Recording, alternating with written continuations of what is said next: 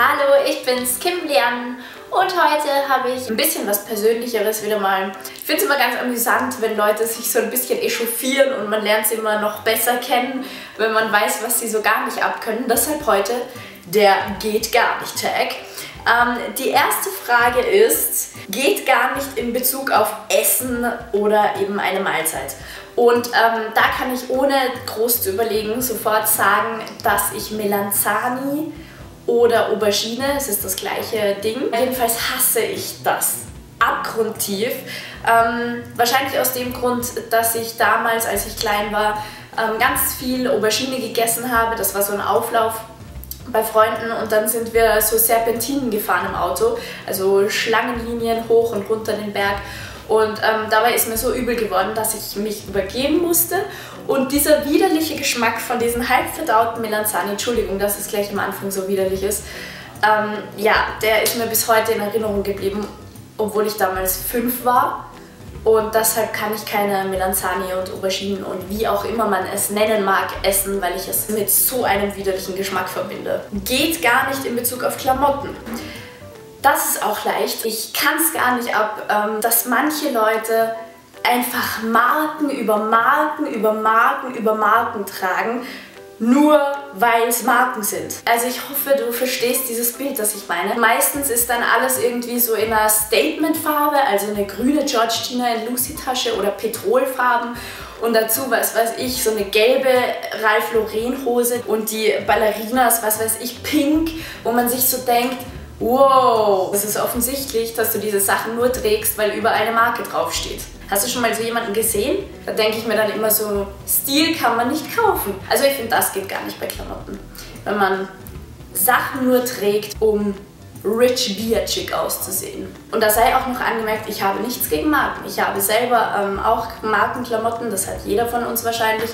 Aber Du weißt, was ich meine, hoffe ich. Drittens, was geht gar nicht bei Musik? Das finde ich ganz witzig, da habe ich gestern erst drüber gesprochen, auf einer längeren Autofahrt.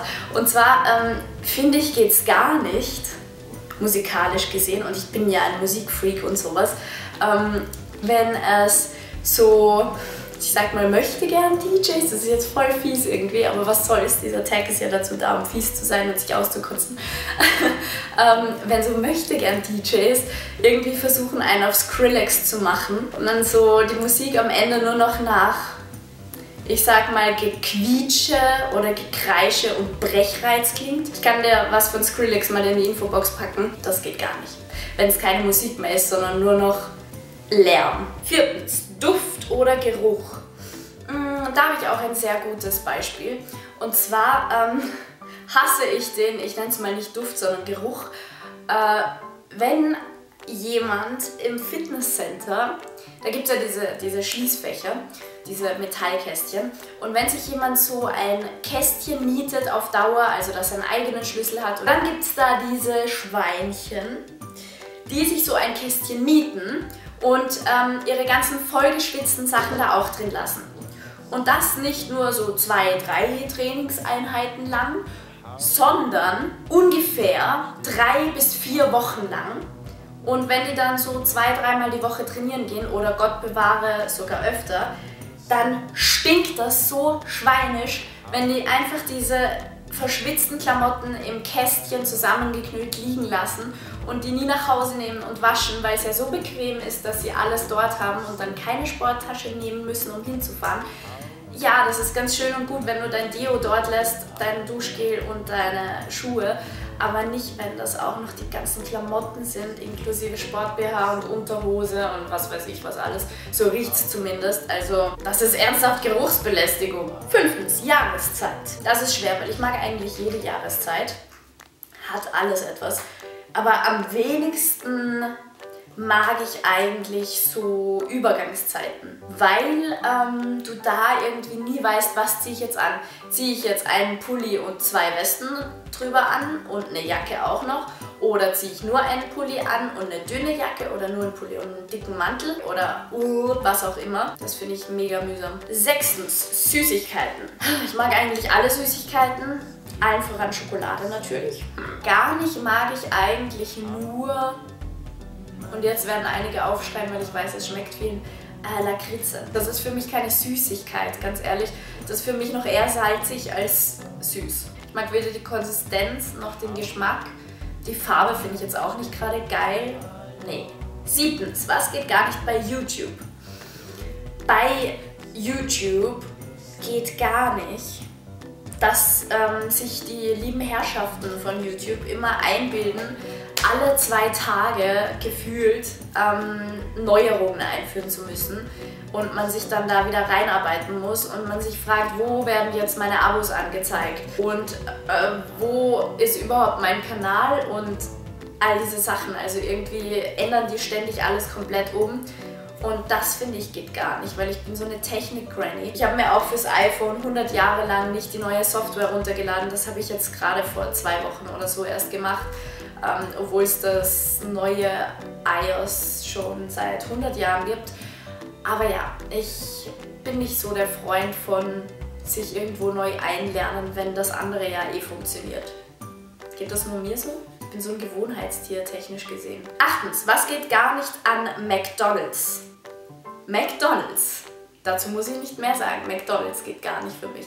Mag ich nicht. War ich schon seit ja, nicht mehr. Neuntens, Charakter von Personen. Ich glaube, ich werde das zusammenlegen, die neunte und die zehnte Frage, weil neunte ist eben Charakter von Personen, zehnte ist öffentliche Personen, was gar nicht geht. Und ähm, ja, das geht Hand in Hand meistens, aber nicht immer.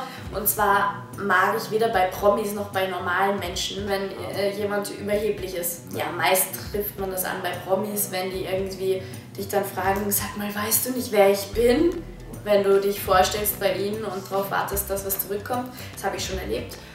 Und ähm, einfach so, so Sachen, von da habe ich auch gestern erst drüber gesprochen, wenn man seine Meinung sagt jemandem und der das irgendwie überhaupt nicht annehmen kann, sagt, ja, was glaubst du denn, wer du bist? Weißt du eigentlich, wer vor dir steht? Sowas in die Richtung.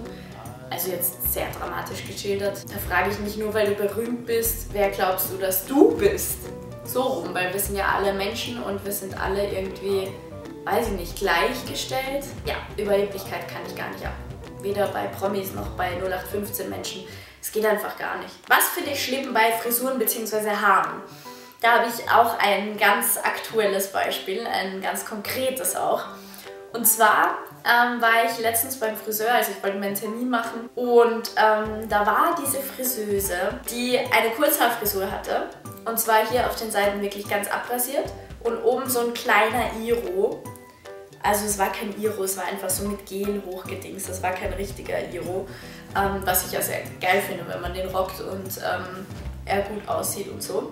Aber ja, wie auch immer, hatte sie dieses kleine Mini-Stachelchen Iro hier entlang und da abrasiert und an den Seiten hatte sie, also es war mal pink eingefärbt auf beiden Seiten und die Mitte war, glaube ich, ihre Naturhaarfarbe, dunkelblond oder sowas.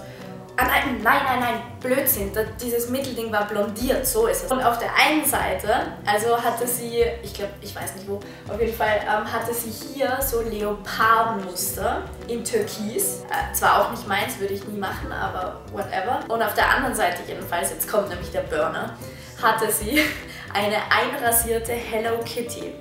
Also da war praktisch bis auf die Kopfhaut runter rasiert in dieses Pink und einfach die Umrisse einer Hello Kitty samt diesen drei Schnurhaaren. Heftig, oder?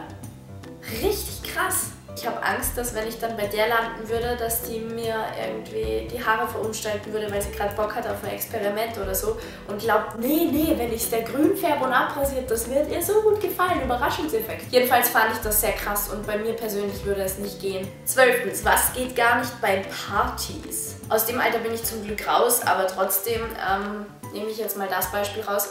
Äh, ich finde, es geht gar nicht, vor allem bei Jüngeren, diese Partys, wo man irgendwie gezwungen wird zu saufen und zu rauchen, weil sonst ist man unten durch und total uncool. Ich meine, wer saufen will, der soll es von mir aus tun, aber ich finde es krass, dass eben es immer noch diesen Druck gibt von wegen, ja komm, du traust dich gar nicht zu trinken und du traust dich gar nicht zu rauchen, finde ich uncool. Was geht gar nicht beim Autofahren?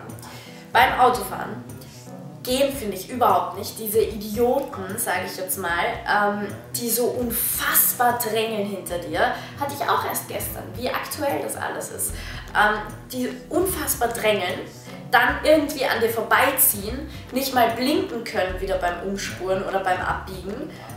Und ja, ich weiß nicht, da denke ich mir so, ganz ehrlich, wenn du die Grundregeln des Autofahrens nicht beherrschst, dann solltest du in der 50er-Zone statt 90 vielleicht eher 20 maximal fahren, weil du uns alle gefährdest. Und das Beste daran ist ja auch noch, dass diese Deppen nicht mal zwei Minuten schneller da sind als ich. Woher die glauben, dass die so gut fahren können, dass sie sich so überschätzen, so schnell zu fahren, das geht mir nicht ein irgendwie. Also sowas geht gar nicht beim Autofahren. 14. Eltern. Da, ach, das habe ich, das vermisse ich eigentlich, seit ich in einer eigenen Wohnung wohne. Und zwar dieses Rufen und einen herbitten. Also zum Beispiel, fangen wir mal so an, ich rufe meine Mama, Mama, komm mal. Und dann schreit sie hoch, weil das war im Haus, also schreit sie hoch, wenn du was von mir willst, dann komm du zu mir. Macht Sinn. Macht wirklich Sinn. Dann latsche ich die Treppen runter, gehe zu ihr, frage sie, was ich wissen wollte und gehe wieder hoch. Dann passiert es aber ständig, dass die Mutter das Gegenteil macht. Und zwar sitze ich oben ganz gechillt auf meinem Bett, schaue irgendeine Serie oder was auch immer und höre auf einmal Kim. Dann frage ich, was? Komm mal! Und ich denke mir so, du willst doch eigentlich gerade was von mir, warum kommst du nicht hoch? Und dann rufst du runter, aber ich soll auch immer runterkommen, wenn du mich rufst. Und dann heißt es, Vorsicht, logische Argumentation, ich bin ja auch die Mutter. Also das sind zwei Dinge, die ich an Eltern krass finde. Erstens mal, dass sie selber Vorschriften machen, die sie nicht befolgen. Und zweitens mal, dass sie manchmal argumentieren mit kompletten blödsinnigen Aussagen. Also von wegen, äh, die Rechtfertigung für irgendwie was weiß ich was ist dann, aber ich bin die Mutter. Totschlagargument. Und äh, trotzdem es in diesen Momenten nervt, muss man aber sagen, am Ende des Tages ist man froh, dass man sie hat und liebt sie über alles. Und deshalb, es ist jetzt gerade voll schnulzig, und deshalb sage ich zum zehnten Punkt, der heißt nämlich grüße einen lieben Menschen und sag, warum du ihn lieb hast. Deshalb grüße ich jetzt auch meine Mama. Hallo Mama, ich hab dich lieb, weil du immer für mich da bist und ich mich immer auf dich verlassen kann. Und du die beste Mama bist. Um bei dieser Frage zu bleiben, ähm, kannst du mir auch eine Story schreiben, die bei dir und deinen Eltern so gang und gäbe ist, wo du dir immer nur so denkst, was zur Hölle? Das würde mich sehr interessieren, weil ich das ganz witzig finde. Was für kleine Eigenheiten die Eltern manchmal haben. Bei diesem Video tagge ich äh, übrigens jemand ganz Besonderen und zwar genau dich. Yeah! Das war jetzt mega Anmachspruchmäßig, oder?